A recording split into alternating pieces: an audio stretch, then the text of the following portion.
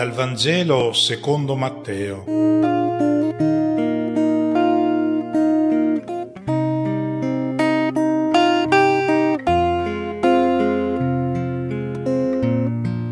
Una buona domenica a tutti.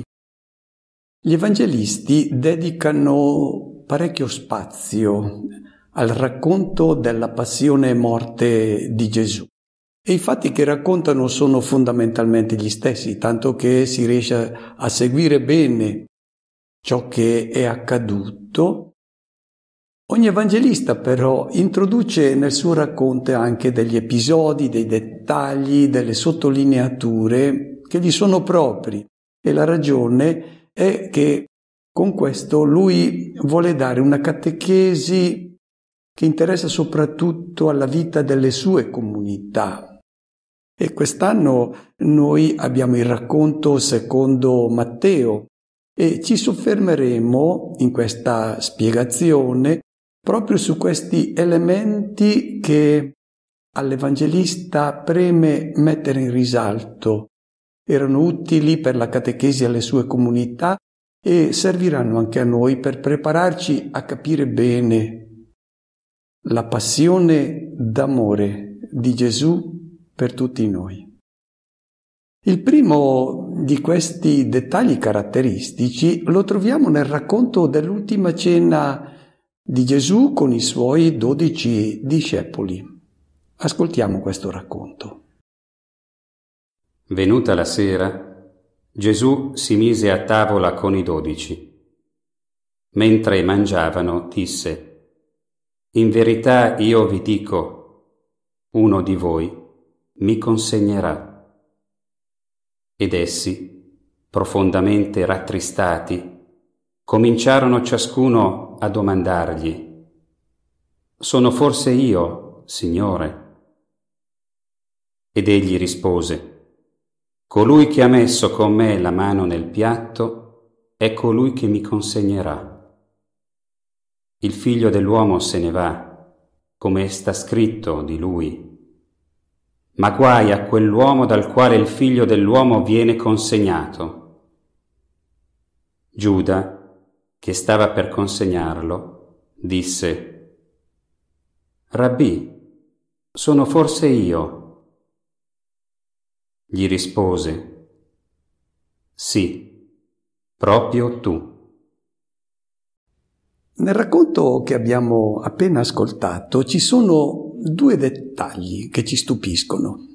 Il primo è il fatto che tutti i discepoli si rivolgono a Gesù e gli chiedono, ma sono forse io che ti consegno ai tuoi nemici?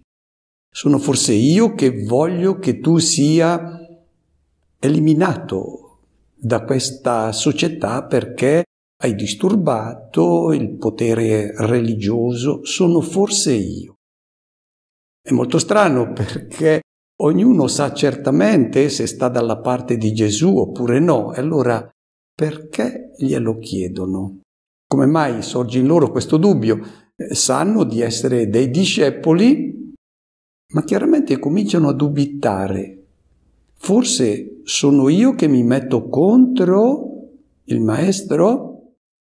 Come cronaca quindi questo dettaglio è strano, ma come catechesi questo interrogativo che i discepoli si pongono è molto concreto e molto attuale, come tra poco vediamo.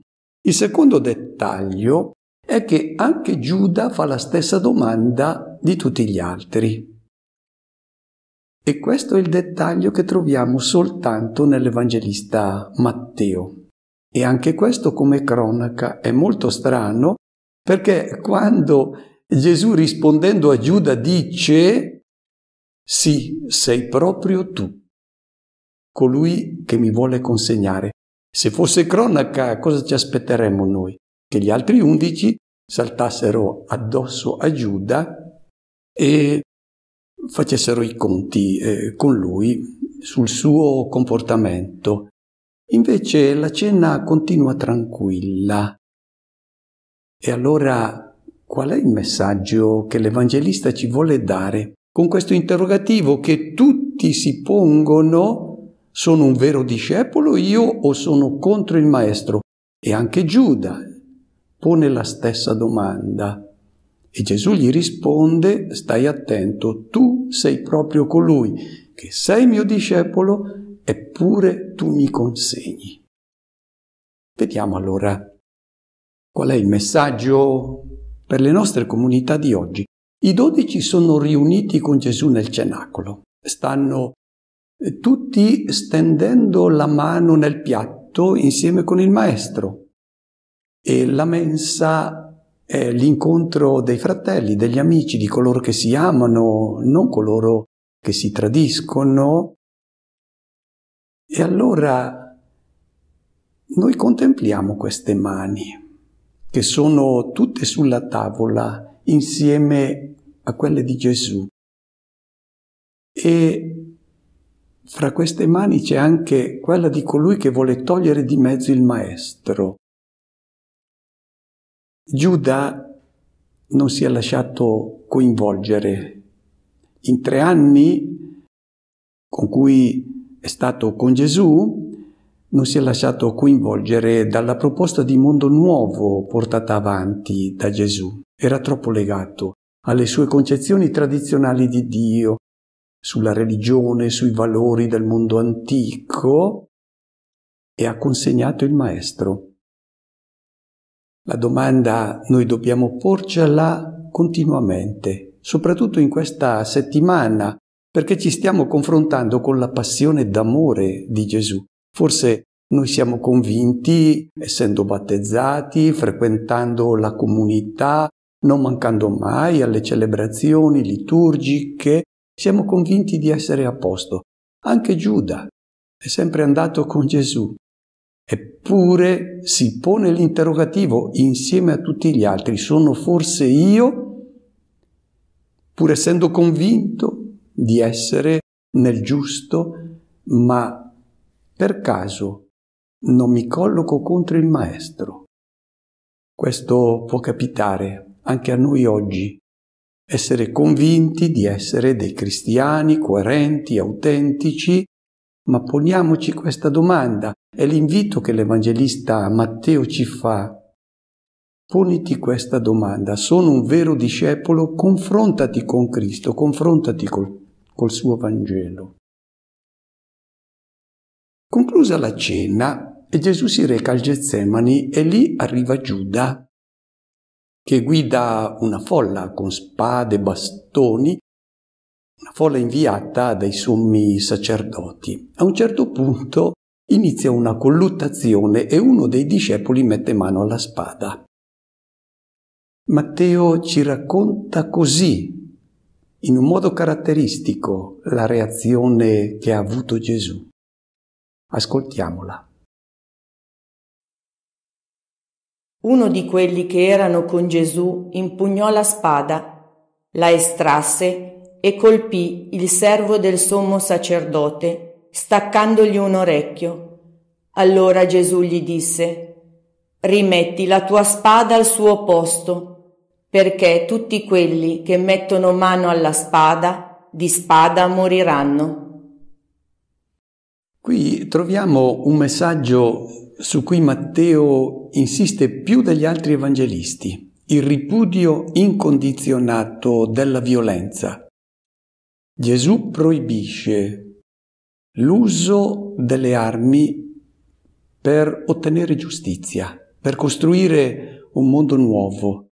Soltanto Matteo riporta la frase di Gesù a Pietro, metti via la spada. Tutti coloro che ricorrono alla spada finiscono per morire di spada.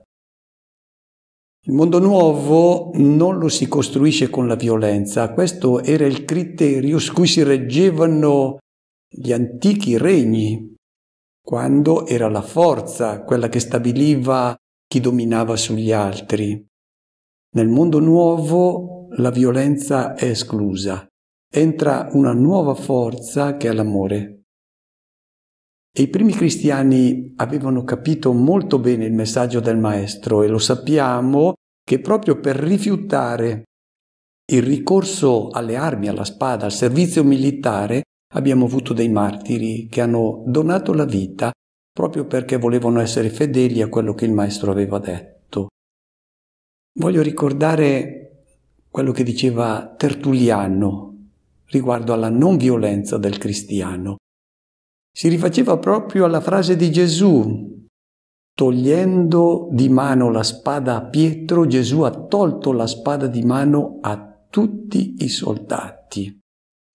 E continuava dicendo, andrà a combattere il figlio della pace al quale non è permesso neppure litigare, infliggerà agli altri catene, prigione, tortura, supplizi, colui che non può vendicarsi delle ingiustizie che gli vengono fatte, oppure veglierà con la spada in mano il soldato, si appoggerà alla lancia quando il suo maestro è stato trafitto dalla lancia e qualche decennio dopo il biblista Origene del terzo secolo diceva noi cristiani non impugniamo più la spada, non impariamo più l'arte della guerra perché attraverso Gesù siamo diventati i figli della pace.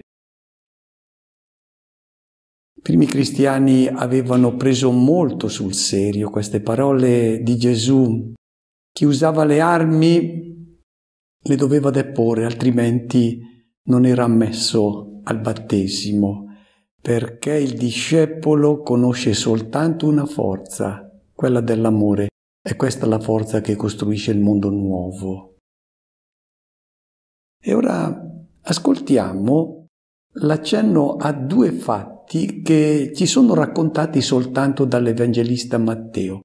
Il sogno della moglie di Pilato e poi il celebre gesto di Pilato di lavarsi le mani. Mentre Pilato sedeva in tribunale, sua moglie gli mandò a dire Non avere a che fare con quel giusto perché oggi, in sogno, sono stata molto turbata per causa sua.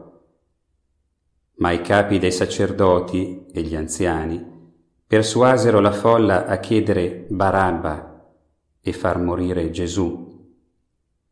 Pilato, visto che non otteneva nulla, anzi che il tumulto accresceva, prese dell'acqua e si lavò le mani davanti alla folla, dicendo, Non sono responsabile di questo sangue, pensateci voi. E tutto il popolo rispose, Il suo sangue ricada su di noi e sui nostri figli.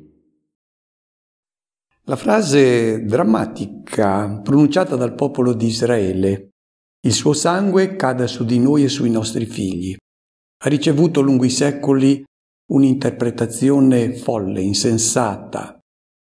Questa frase ha dato origine ad accuse assurde, odi, violenze contro il popolo di Israele come se fosse lui il responsabile della morte di Gesù. Era totalmente diverso il significato che l'Evangelista dava a queste parole. Vediamo di capirlo. L'Evangelista scrive nella seconda metà del primo secolo e ha presente ciò che è accaduto al suo popolo. È stato colpito Israele da molte sciagure, carestie, pestilenze e poi la corruzione degli ultimi procuratori inviati da Roma. Ricordiamo Albino, Gessio Floro, soprattutto Gessio Floro, il quale si gloriava di essere un corrotto, almeno Dice Giuseppe Flavio, Albino, il suo predecessore, cercava di nascondere la propria corruzione. No, Gessio Floro si vantava, era dedito a ogni forma di ruberie, non conosceva la pietà, nessun guadagno lo saziava. Ecco, in questa situazione c'è stata la rivolta degli zelotti e tutto è poi finito in un bagno di sangue. L'Evangelista Matteo si domanda come mai questo è accaduto, perché queste sciagure, culminate poi con la distruzione della città di Gerusalemme, hanno colpito il popolo di Israele e dà una risposta teologica. dice questi mali hanno colpito il mio popolo perché hanno rifiutato la proposta di mondo nuovo fatta da Gesù. Ricordiamo che Gesù ha pianto sulla città di Gerusalemme proprio perché non era riuscito a cambiare il cuore di Israele. E non avendo accolto la proposta di mondo nuovo fatta dal Maestro, ecco quali sono state le conseguenze. Chi si allontana da Cristo, e questo è il messaggio che ci viene rivolto oggi, chi crede ai messia di questo mondo, che hanno come obiettivo la gloria, il potere, la ricchezza, e quindi sono disposti a tutto, a ricorrere anche all'inganno, alla violenza. Chi si fida di questi messia finisce per rifiutare la proposta di Cristo e per avere poi le stesse conseguenze a cui sono andati incontro gli israeliti del tempo degli apostoli. Il sangue è caduto su di loro e sui loro figli. Se non accogliamo la proposta di mondo nuovo che ha fatto Gesù, le conseguenze le paghiamo noi e le pagheranno anche le, le generazioni che ci seguiranno. E ora ascoltiamo il racconto dei fatti straordinari che sono accaduti alla morte di Gesù e che sono narrati soltanto da Matteo. Ed ecco, il velo del Tempio fu squarciato in due, da cima a fondo. La terra fu scossa, le rocce furono spezzate, i sepolcri furono aperti e molti corpi di santi che erano morti furono risuscitati. Uscendo dai sepolcri, dopo la sua risurrezione, entrarono nella città santa e furono manifestati a molti.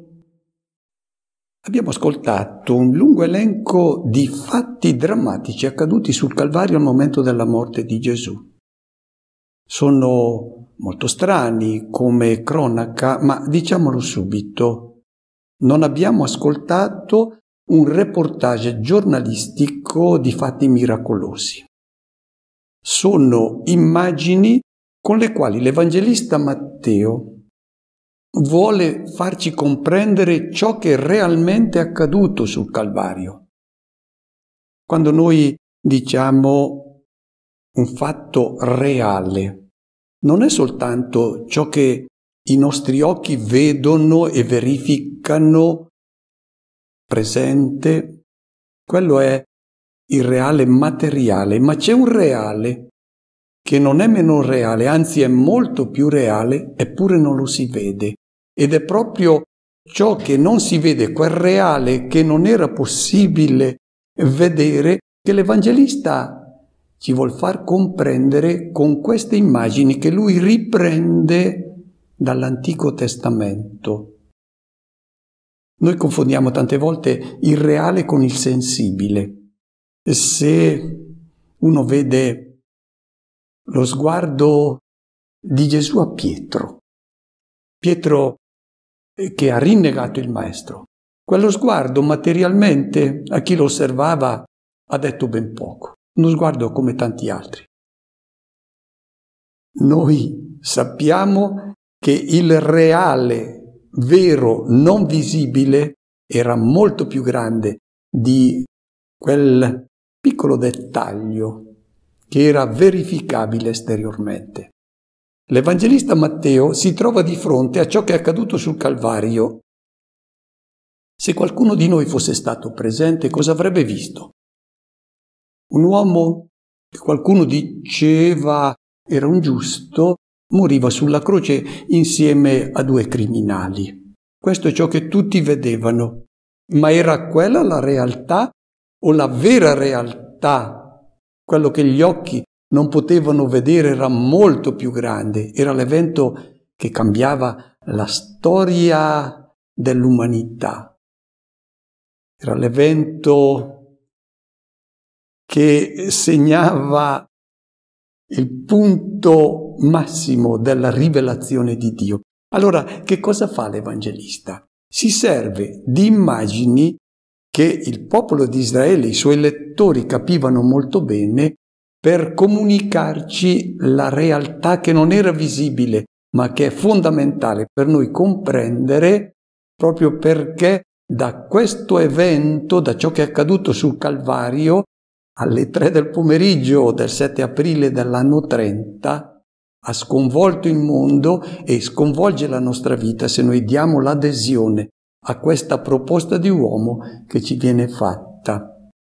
Matteo vuole porci davanti agli occhi la realtà invisibile dell'evento straordinario che ha segnato la nascita del mondo nuovo. Vediamoli questi fatti.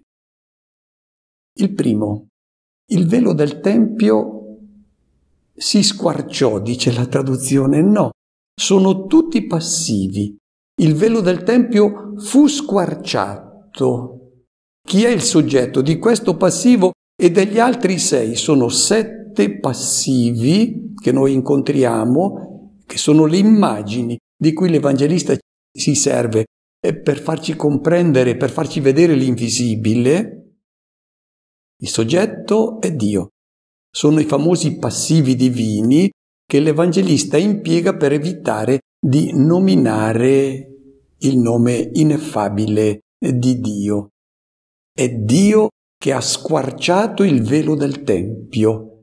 Lo vedete sullo sfondo? Quel velo che separava il santo dal santo dei santi, dove nessuno poteva entrare, solo il sommo sacerdote una volta all'anno per andare a versare il sangue dei buoi o degli agnelli sulla pietra della fondazione del mondo, quella pietra che dicevano teneva chiuso l'abisso in modo che non uscissero le acque per creare un nuovo diluvio per punire l'umanità. Quindi era l'espiazione che veniva fatta, ma una volta soltanto in un anno il sommo sacerdote poteva entrare nel santo dei santi dove si diceva c'era la presenza di Dio. Quel velo nel momento della morte di Gesù fu squarciato materialmente. Che cosa è accaduto? Assolutamente nulla. Il velo del Tempio materiale è rimasto com'era ma è un altro velo che è stato squarciato in quel momento. Quale velo? Era il velo che separava gli uomini da Dio. Quel velo è stato strappato da Dio per sempre. Adesso l'uomo ha accesso alla casa di Dio, vede in faccia il volto di Dio sul volto di Gesù e questo volto adesso non ha più alcun velo, lo possiamo vedere al di là di tutti i veli che noi gli abbiamo posto addosso, che sono le nostre immagini di Dio, quel Dio eh, che ama i buoni e castiga coloro che gli disobbediscono, il Dio che ama soltanto i buoni e non è avvicinabile dai cattivi. Questi erano tutti i veli che adesso sono stati squarciati, perché sul Calvario noi adesso abbiamo accesso a Dio e non ci scaccerà mai. Questa cortina è caduta per sempre. In Gesù che muore sulla croce e si è consegnato nelle mani degli uomini, il Signore si è manifestato come il Dio che è amore e soltanto amore. Ecco l'immagine quindi di questo velo del Tempio che è stato squarciato da Dio, non il velo del Tempio materiale, è l'immagine di cui l'Evangelista Matteo ci serve per dirci l'invisibile, ciò che è realmente accaduto sul Calvario. Seconda immagine, la terra fu scossa. Non è la terra si scosse, no, fu scossa la terra. E l'immagine è quella del terremoto, che era ben nota nell'Antico Testamento. Ricordiamo quando Dio scendeva sul Sinai per parlare con Mosè, il monte tremava, perché dove Dio entra c'è sempre uno scuotimento, un qualcosa che viene buttato all'aria. Concretamente sul monte Sinai il terremoto non avveniva sul monte, avveniva nella mente e nel cuore di Mosè, perché Quando entra Dio nella nostra mente, nel nostro cuore, lì avviene un terremoto. È bella questa immagine biblica che dice ciò che è successo quel giorno sul Calvario. Il mondo è stato sconvolto e chi leggeva Matteo capiva benissimo il messaggio che l'Evangelista stava dando. Era il crollo del mondo antico e l'inizio di un mondo completamente nuovo. E ricomparirà questo terremoto al mattino di Pasqua. È sempre l'Evangelista Matteo. È un modo efficace per dire l'intervento di Dio. Quando Dio entra, nulla rimane più come prima. Proviamo a pensare nella nostra vita che cosa accade quando noi realmente lasciamo entrare Dio, il Vangelo, la sua parola. È un'esperienza che facciamo tutti nella nostra vita.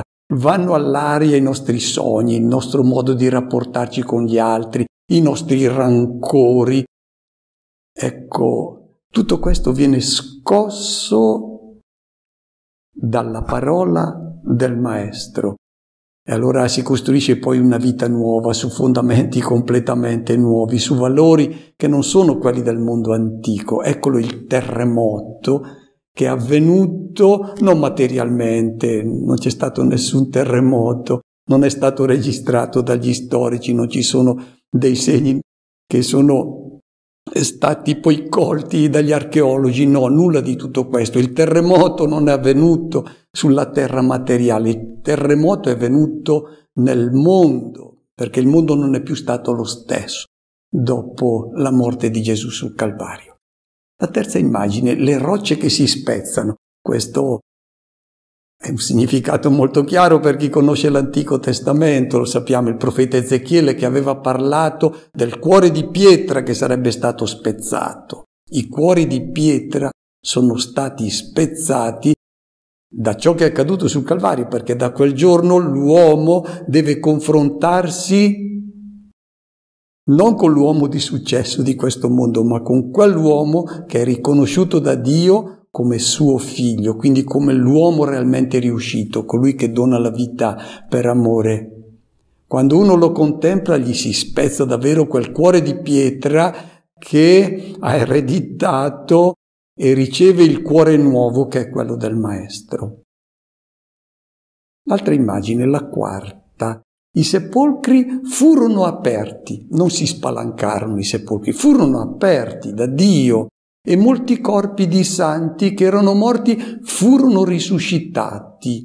Il riferimento qui è chiaramente al profeta Ezechiele che aveva detto un giorno Dio aprirà i vostri sepolcri risusciterà gli israeliti dalle loro tombe, aprirà le tombe, risusciterà.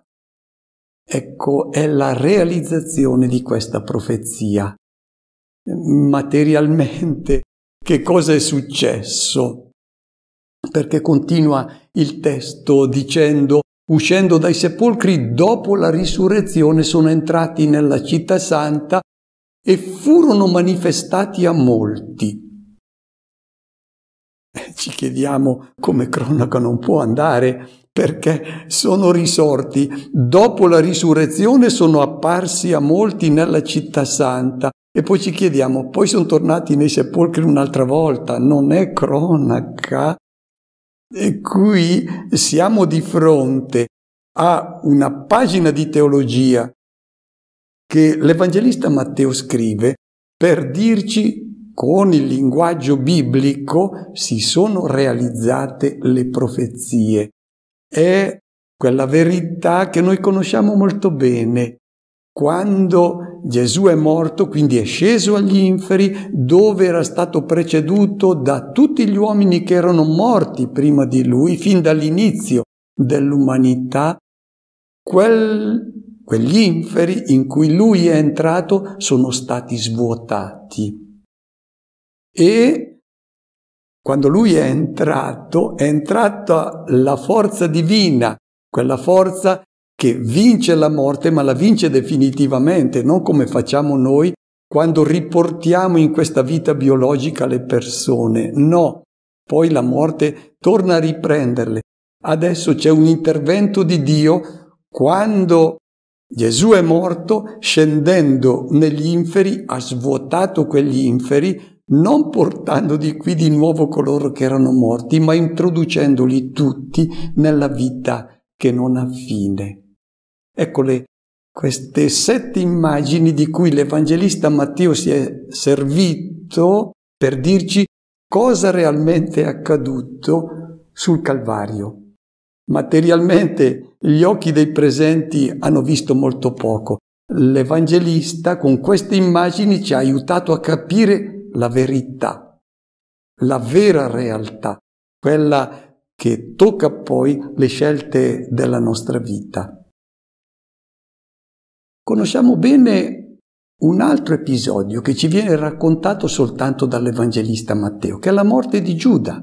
Gli altri evangelisti non ne parlano. Ascoltiamo questo racconto.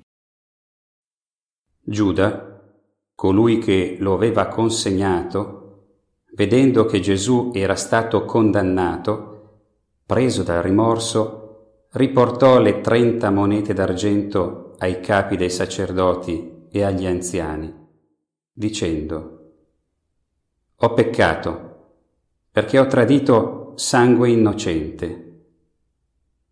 Ma quelli risposero, A noi che importa? Pensaci tu. Allora egli, gettate le monete d'argento nel tempio, si allontanò e andò a impiccarsi. I capi dei sacerdoti, raccolte le monete, dissero, non è lecito metterle nel tesoro, perché sono prezzo di sangue. Tenuto consiglio, comprarono con esse il calpo del vasaio, per la sepoltura degli stranieri. Perciò quel campo fu chiamato campo di sangue fino al giorno d'oggi. Allora si compì quanto era stato detto per mezzo del profeta Geremia. E presero trenta monete d'argento, il prezzo di colui che a tal prezzo fu valutato dai figli di Israele, e le diedero per il campo del vasaio, come mi aveva ordinato il Signore. Abbiamo ascoltato un episodio che presenta anche delle zone d'ombra misteriose e credo che non verrà mai chiarito dal punto di vista storico. Giuda che muore per impiccagione dopo essere andato là nel Tempio a scagliare quelle 30 monete che gli erano state date dai sommi sacerdoti. Negli Atti degli Apostoli noi troviamo un racconto molto diverso della morte di Giuda. Viene fatto da Pietro proprio all'inizio degli atti degli Apostoli.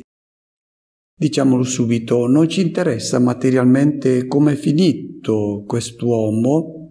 Deve esserci stata una morte drammatica che è stata però riletta dai cristiani per cogliere un messaggio che è quello di prestare attenzione alle scelte che facciamo, perché potremmo rovinare la nostra vita, come ha fatto quest'uomo che per tre anni era stato con Gesù, ma a un certo punto si è staccato.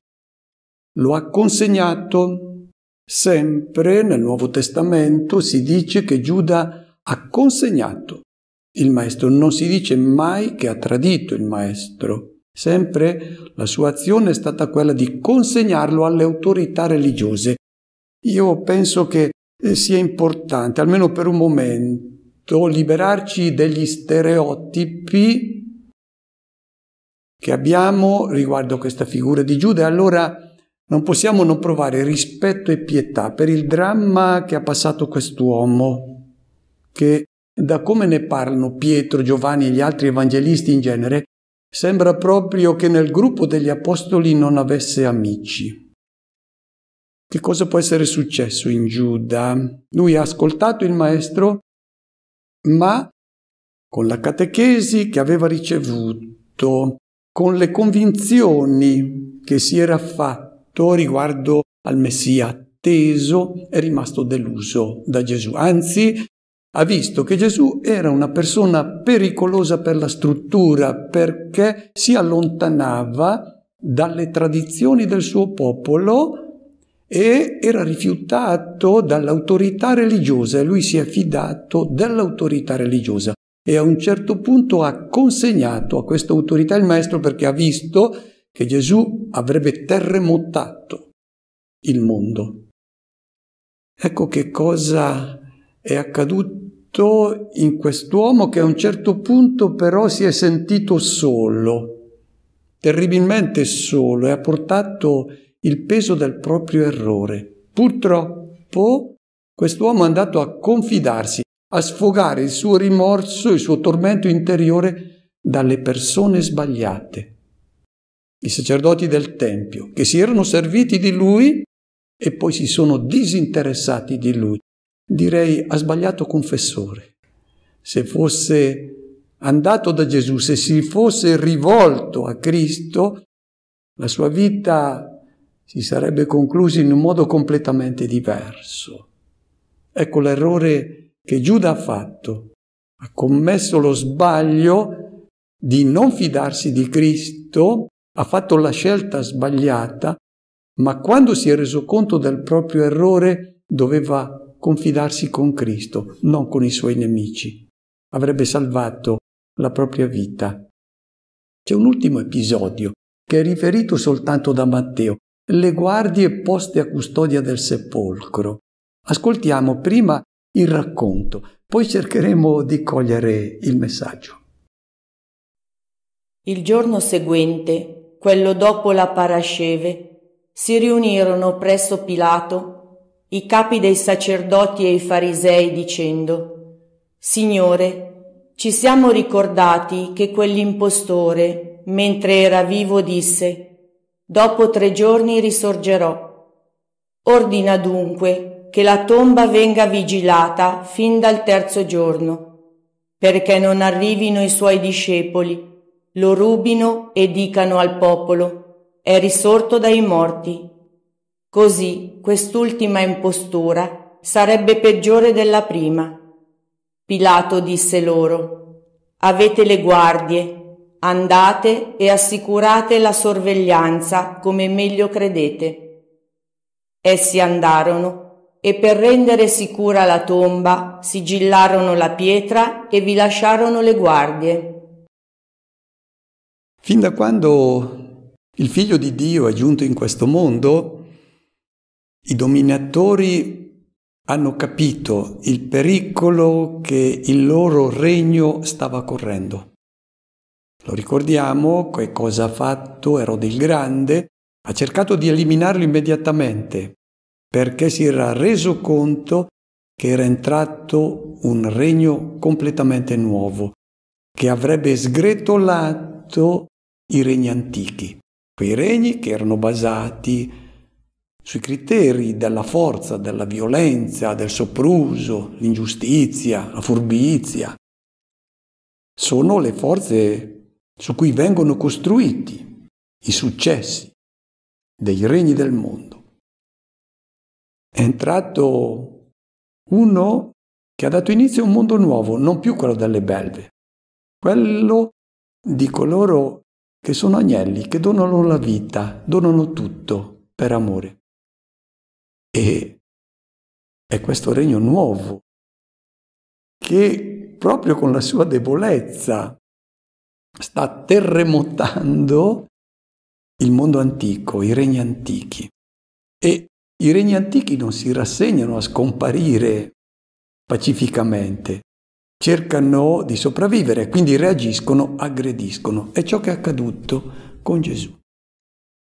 I regni di questo mondo, i dominatori politici, religiosi si sono collegati e sono riusciti a porre nel sepolcro colui che per loro era pericoloso e sono felici quel venerdì quando finalmente pongono quella pietra davanti al sepolcro. Eppure l'Evangelista Matteo, solo lui ci dice che non erano tranquilli.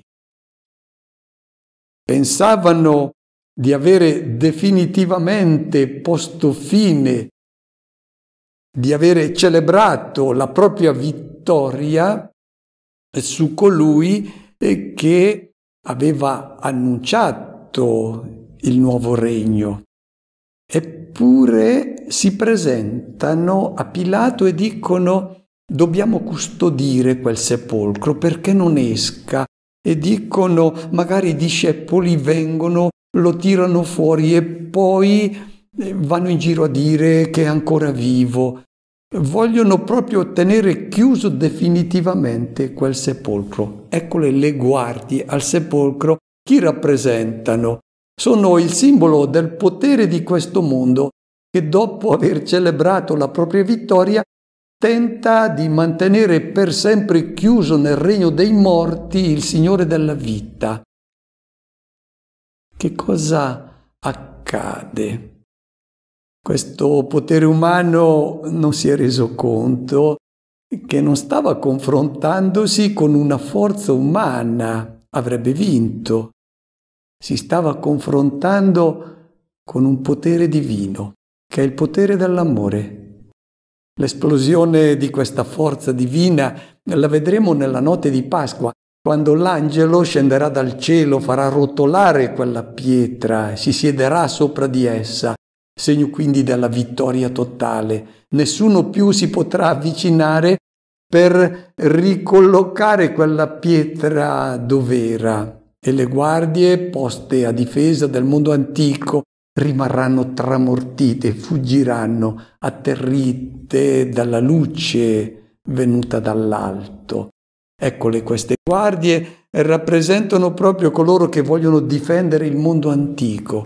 Teniamolo presente perché potremmo essere noi, forse senza nemmeno rendercene conto, quelle guardie che cercano di proteggere un mondo che invece sul Calvario Cristo ha fatto definitivamente crollare. Auguro a tutti una buona settimana di preparazione per accogliere nella mente e nel cuore la luce della Pasqua.